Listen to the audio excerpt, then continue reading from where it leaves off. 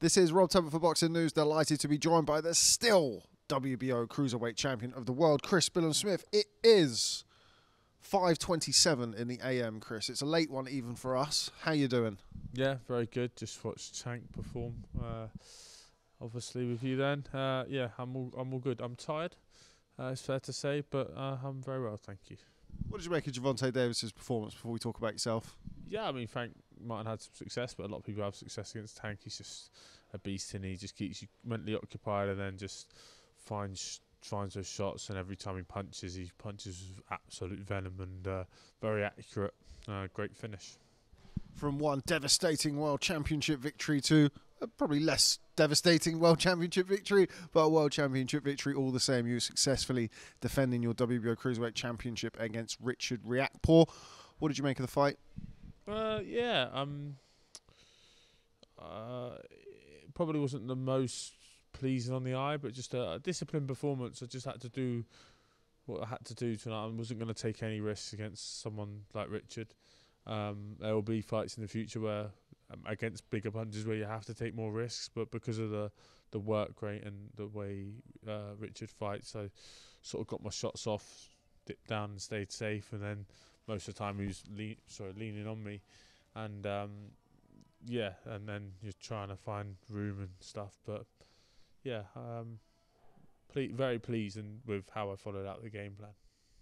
Something I spoke to your trainer Shane McGuigan about, um, kind of the words that we we generally associate with yourself over recent years: exciting, durable, relentless, all of those things. But tonight, a different side of you. I felt more disciplined, more intelligent, more methodical. Would you agree with that? Yeah, absolutely. I, I think I don't think I was wasn't very ag- I was aggressive in, in a sense, but the sport's aggressive, but um, not not my usual self. Not wasn't going big. Everything was about speed tonight, um, and being safe, being disciplined, um, and yeah, not not not that exciting tonight to be honest, but very much about getting getting the win um, and and staying safe and doing it as easy as I could. I said similar to Shane um, that you know it wasn't the win at Bournemouth, which is of course something that's very very special for you, something different, difficult, impossible even to replicate. But there was a, a big outpouring of emotion from yourself in the corner all week. You know, we, we heard about Richard Riakporhe's punching power. You were quite a sizable underdog despite being a defending world champion. Did that just add to it? Did that just make things a little all that more sweeter for you? Yeah, absolutely. People did the same in the last stadium fight I had. I was a three to one underdog then. I think I was a two to one underdog this time. Um, look, I'm, I might not be the most technically gifted and that you know boxing, beautiful boxing skill and all that, but I know how to fight and I know how to fight in more way than one, more ways than one. And uh, I'm I'm a quiet guy out off the camera, and a lot of time the odds can be done because of what's said on camera and what people say about punch power. But this game's so much more than punch power, and it's not like I don't have punch power myself. You know, um, I can hurt anyone in the world. Uh, definitely, you know, Richard definitely uh, would you know attribute to my power. I think yeah, in terms of respect it, um, and yeah, and uh, you know the all the doubts and I love it. uh, you, you love it. I'm I'm never one like oh that's for all the haters or anything like that. People have got their opinions and they rightly so. Like I get it. They don't see me every day in the gym. They don't see the all they see is the Masternak fight realistically. So they'll go look back, look at that, and oh, he's getting beat. If he lets Richard hit him like that, um, then it's all over. But I didn't let Lawrence hit me as much as Masternak and stuff like that. I obviously got hit a bit by Lawrence, but you just, yeah, there's certain things where you just got to adjust to each fight, and, and that's what I do. Obviously, appreciate the uh, the first fight was quite a, a ways away now in the rear view mirror, and, and much water has gone under the bridge since then. But how was Richard the diff, uh, different? How was he the same? And likewise yourself uh, than you were in the first fight. Yeah, a lot of people asked me how I thought it was going to go and if it'd be similar to the first fight, and I was like, yeah, it will, I think, but I'll be a lot more calm and a lot more disciplined, and uh, you know, and uh, I, I feel like that's kind of how it went because I was winning the early rounds very well in the first fight, just too erratic and things like that. I just slowed my feet down, didn't try and move away from his his power or anything like that. Um, and pull out or anything. Just kept taking the space and being comfortable in that range, and that's something I've really learned over the last few years of getting comfortable in, range and against power punches. Most people don't think is a yeah they think is a bad idea, but just knowing what to do in those situations. That's where where Shane comes in and tells me, you know, where my head's got to be, what I've got to do when they do this and this shot, and after this position or this punch, where to go and stuff like that. So um, yeah, I mean Shane's a, a master at that. But yeah, I mean the first fight was was similar. It, was in, in that sense, like I said, Richard's rawness back then gave him success. I was obviously very raw as well, and I think he he was still had a little bit of that tonight, but he's very a lot more cuter and stuff. Like he's almost looking for the perfect shot, but where my head was moving the whole time, I was adjusting the height, head checks, changing the distance. He couldn't he couldn't find that. So um, yeah, I think um, people were saying Richard didn't perform that well, but it's probably because I, I took that away from him as well. Um, mentioned earlier, much was made about Richard's punching power going into this fight. Uh, did he ever hurt you at all? Did you feel his power tonight? No, no, genuinely didn't. Um, I think one of the rounds, ninth, I think, uh, he had a little burst, but nothing buzzed me, as you can see. As once I sort of just got my shape back, I think I, I landed a decent shot, um, a couple of decent shots and stuff like that. So it was nothing, nothing bothered me. Um, I'm, it's not to say these people can't punch, or and it's not to say that I've got a phenomenal chin. I've got a good chin, and I'm aware of that. But it's the you when you can see the shots, you you can take a little bit of sting out of the shots, um, just ride them, or they just miss, or they don't hit. It was clean, and I don't think I ever got hit fully fully flush tonight. I was always a couple of them maybe got caught through a glove, or but nothing was clean. I've been hit much cleaner. Um, by Masternak and by Tommy McCarthy fights and, and things like that. And um, you know, but no disrespect to those guys, but they're not as big a puncher as Richard. So in terms of what he does to other people, so um, I just had to I had, I had respect for that and saw that as the only way of him beating me was landing something aside from the game plan, obviously a well executed game plan um, devised by, by yourself and your trainer Shane, how much do you feel that your experience, it was talked about a lot in the build up to this fight, your experience and particularly and most notably experience in fighting in a football stadium? It's not something that most fighters ever really get the opportunity to do once, much less twice in a year. How integral do you feel like that was?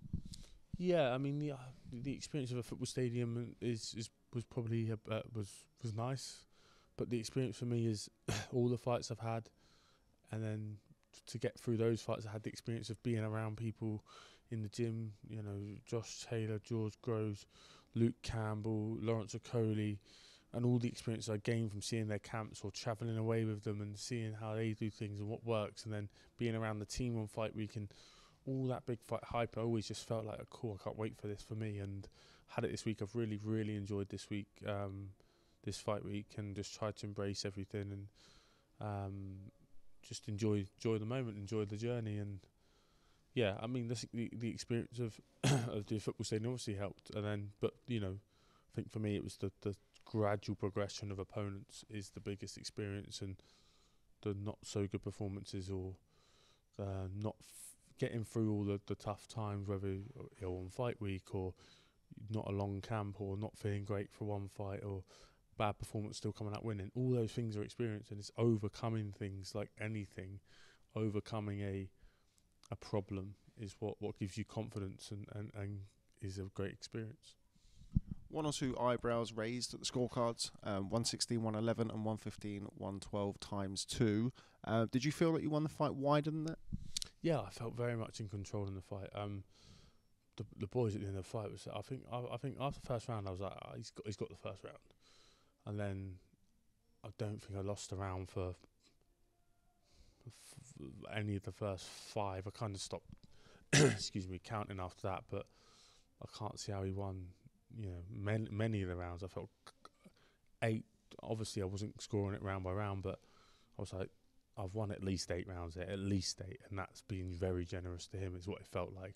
Boys, I think, had me ten to up, but a lot of my work gets missed. Again, against Richard, it does get does get missed because I do a lot of short shots on the inside. Um, there's a reason he's not just able to perform or has a bad performance because I'm busting him up on the inside, and that's what I do with a lot of fighters. But all his success comes from long and you see his shots more, and even if they're not hitting me, uh, you know, I might be catching them with the gloves and they'll be knocking me, knocking me off balance a bit. But it's not really a scoring blow, because um, just take the st- sting out of it by moving back as well.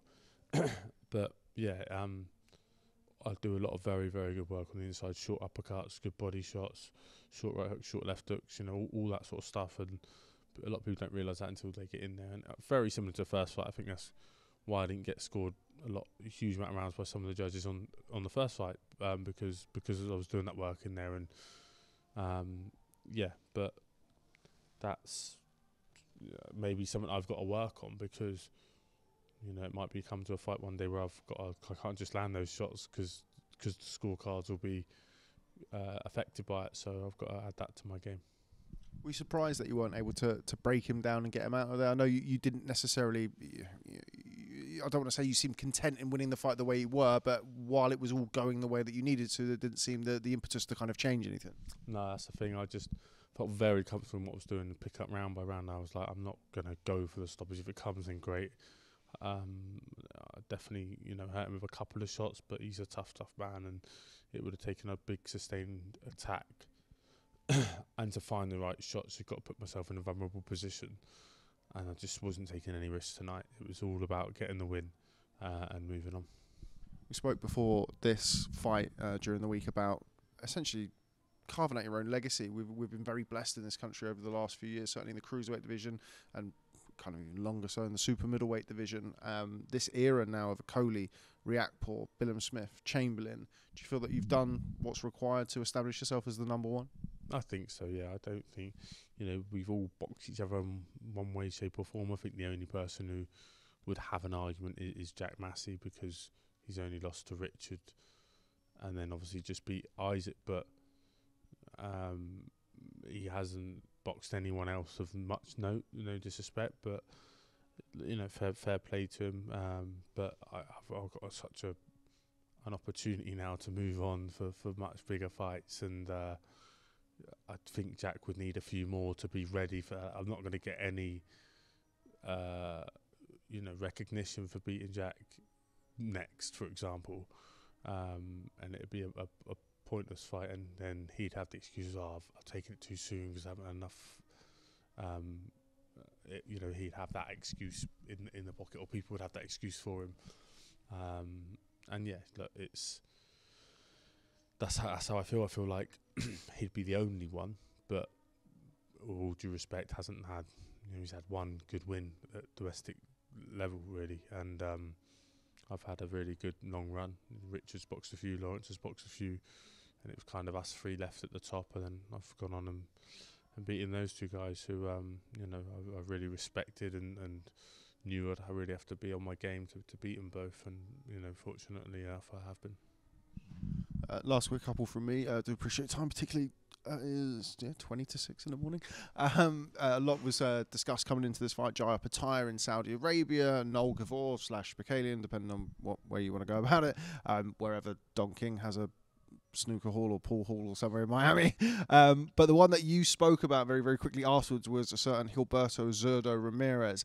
Las Vegas, here we come, I think, words to the effect. Is that top of the CBS shopping list next. Yeah, it is. And look, people might people might say that um dodging Opetaia because he's you know seen as the, the number one in the division and you know rightly so he beat he beat Briedis um so I think it's between me and him one and two but um I wanted to fight him originally when I was meant to fight Lawrence and there's some contractual uh issues there with I think his, from his side of thing, management and whatnot.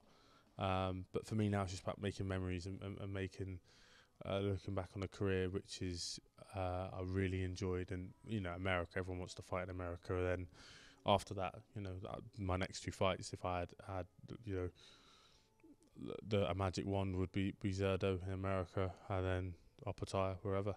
And um, I'd, I'd love that. That'd be be amazing. Um, Zurdo is by by no means an easy fight. A very talented fighter. Only lost to Bivol. Had a great win against um, Goulamirian. Um, and then yeah, uh, but obviously he's stateside, and when you're you're a kid, you want to fight in your team's football stadium, and then you get to do that in someone else's football stadium, and then where do you go from there? So, uh, dream big dreams, as as I learnt from the film Sing. But um, yeah, yeah, that that's it for me. I just want to want to make memories, you know, and uh, I think I'll, will fight out there, and then and then Opetaia would, would be fantastic. Just a word on your trainer, Shane McGuigan, uh, sat here about, well, to be fair, it's about four hours ago now.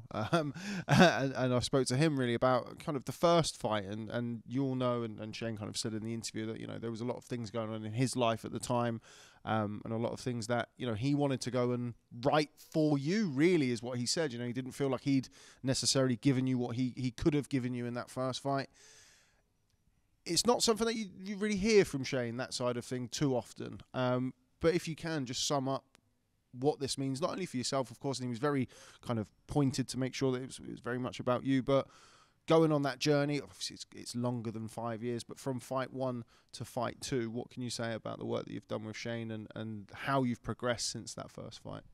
Yeah, I mean, first, I, he didn't do anything wrong in the first fight. I, it was just a lack of experience on my half that probably didn't get me over the line fully, but we still felt like I'd won the fight. But um, yeah, that that was that. But obviously, he had a a lot of issues at the time. With his, his Nika was ill and passed away three days after the first fight. So um, I thought about it a lot this week actually um, about Nika and the timing of the fight and and stuff like that. And then he said it to me in the ring, so it sort of gave me the uh, the okay to de- dedicate it to Nika. And uh, I remember after the, the first fight. Um, Blain, Shane's brother, said to, he said he spoke to me on the Monday, uh, which would have been maybe the day before she passed away, or maybe even that night. She messaged him or something, and he said, "Oh, I spoke to Neeks, and she asked how it went, and she, he said, "Oh yeah, she, he felt we felt Chris did enough," and she was like, "Fuck him," and that sums up that Neeks. She's like, "Oh fuck him." Um, tell Chris well done or whatever. So uh, yeah, no. Um,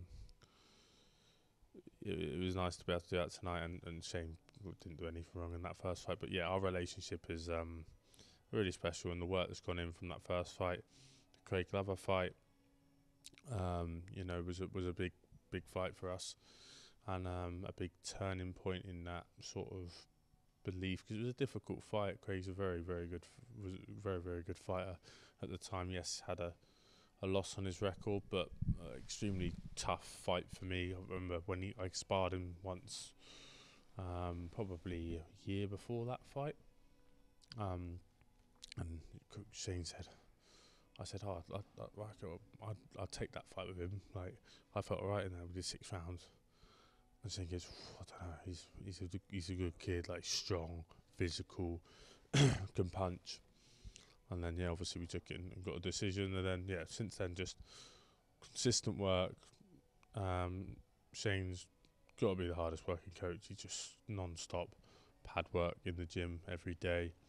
Then he watches fights, you know, breaks people down, but does it in a in such an, an easy way, and, and and just you know the way he coaches is, is is like no other. Everyone, no one really does anything the same. Like you wouldn't look at me and go, "Oh, oh yeah, I remember when Ellie did that, or Caroline did that, and Adam did that, or Adam does this like Chris, or Craig does this like Ellie, or Ellie does this like Craig, or whatever." You know, um, it's just he just adapts to every fighter, and he understands every fighter is different, and he uses their their pot their you know their strengths and um, works on their weaknesses, and minimises them, or doesn't you know minimises the mistakes and things like that, and that's just what Shane's like, and um, yeah, uh, t- today was was very much his game plan, um, and I was just like, okay, let's let's do this. I, I wouldn't say I've ever followed a game plan of Shane's that well. A few things come out from stuff we worked on in camp, but I really got him to sit me down and talk me through it today, and I feel like, I really feel like I did did a very good job of that, and. Uh, makes me very proud because you know I, I want to please him. He he's put in so much work for me. He gave me an opportunity, created a phenomenal life for me. Him him and his whole family have, and the least I can do is, is listen to his his game plans. As as uh, obviously he got coach of the year last year and um, trainer of the year. So yeah, the least I should do is, is listen to his game plans. But uh, yeah, a great relationship. Just putting so much work together. Obviously, outside the ring as well, we we we've we have a, a great relationship, and um, yeah, it's amazing. Very lucky to have that as a as a professional relationship, but also a personal relationship too. Okay, well, final words I'm going to leave to you. Um, Chris Billam-Smith rather than the WBO Cruiserweight Champion, although you are both still. Um, but for now, just Chris Billam-Smith and not WBO Cruiserweight Champion. What's next? Uh, your beloved wife Mia is um, is asleep probably. Um, hopefully, Frank, your son, is asleep as well. Uh, or shout out to the shout out to the babysitter if not. yeah, it's, it's getting there. Um, what next for you? I mean, you've you've just mentioned there, kind of you touched on in a microcosm about this this amazing life that you've built. You're, you know, the hardest man in Bournemouth and indeed the world. Um, you have a you have a lovely family. You you've kind of you know, it seems from my perspective, Chris, that you're living it. You're living life. It couldn't really be going much better. Just how does that make you feel? Yeah, it's mad. Like I've been on such a journey the last two years. Obviously, Frank being born, uh, like one winning the McCarthy second fight, Frank being born, um, you know, the the Chamberlain fight and all this like s- new sort of headline slot on Sky and then obviously the world title, me and Mia and Frank and just I don't know, I'm just so lucky. I don't know don't know what I've done to deserve it, but um yeah, just amazing, amazing life and so grateful for it and you know, long may it continue. There'll be hard roads ahead, but uh, whilst you know, whilst the sun is shining, I will definitely be uh, enjoying it. That's for sure. Okay, well, Chris Billam-Smith, now talking to Chris Billam-Smith and the WBO Cruiserweight Champion of the World. Congratulations on successfully defending your world title. Uh, very, very impressive performance. Um, it's miraculous that you can box so disciplined yet still look like you've been hit by a baseball bat. Um, but nevertheless, yeah, nevertheless, a brilliant night um, at Selhurst Park. Congratulations. Thank you, as always, for speaking to me and Boxing News. Wish you all the best, we'll catch up very, very soon. Nice one. Thank you, Rob. Thanks for your time. Appreciate it.